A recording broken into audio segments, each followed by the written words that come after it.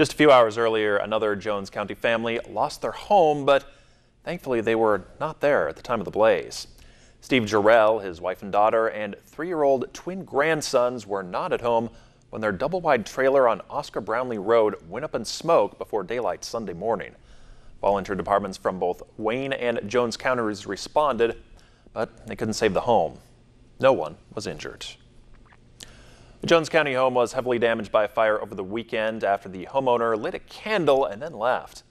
Isaac Landrum told authorities he'd been working inside his brick home, but left to run some errands after lighting a candle.